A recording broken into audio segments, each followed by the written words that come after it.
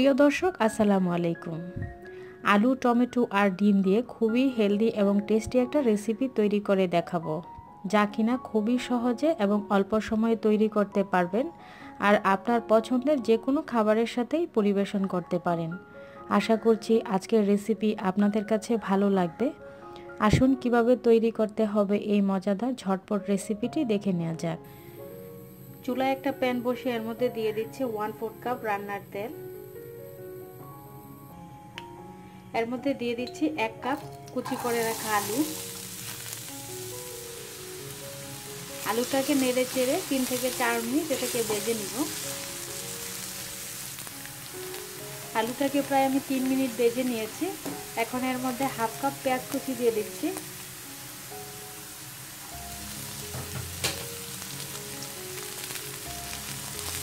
পেঁয়াজটাকে আলুর সাথে নেড়ে চেড়ে আরও এক থেকে দেড় মিনিট বেজে নিচ্ছি।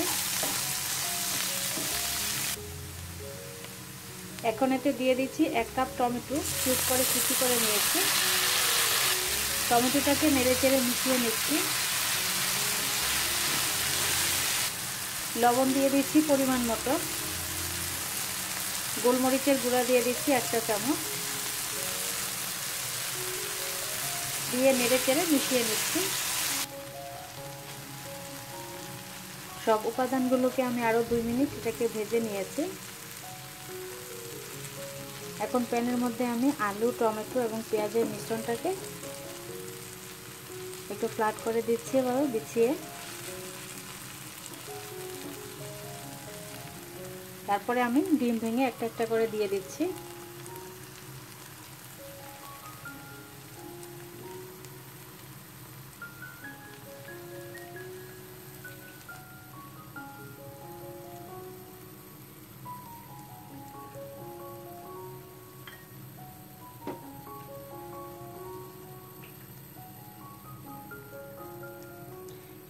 এখানে আমি চারটা ডিম ব্যবহার করেছি।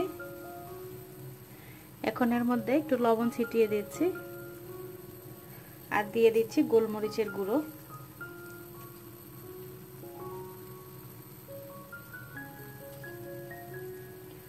আর আস্ত কাঁচামরিচ দিয়ে দিচ্ছি ফ্লেভারের জন্য।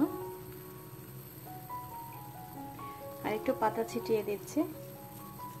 এখানে আমি পুদিনা পাতাটা নিয়েছি। আপনাদের হাতের কাছে যদি ধনিয়া পাতা থাকে, তাহলে সেটা দিতে পারেন।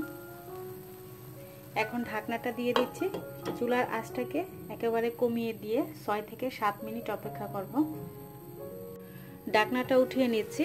আপনাদের প্যানটা যদি পাতলা হয়, সেক্ষেত্রে নিচে একটা তাওয়া দিয়ে নেবেন। এতে করে লেগে যাওয়ার চান্স থাকবে না, তো উঠিয়ে নিচ্ছি।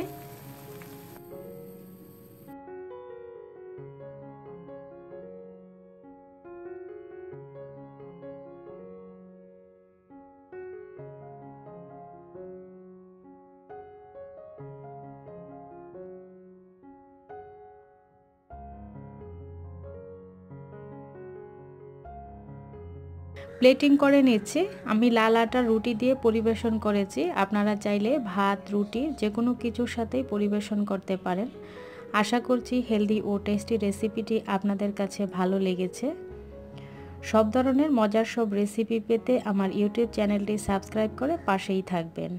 সবাই অনেক অনেক ভালো ও সুস্থ থাকবেন। আল্লাহ হাফেজ।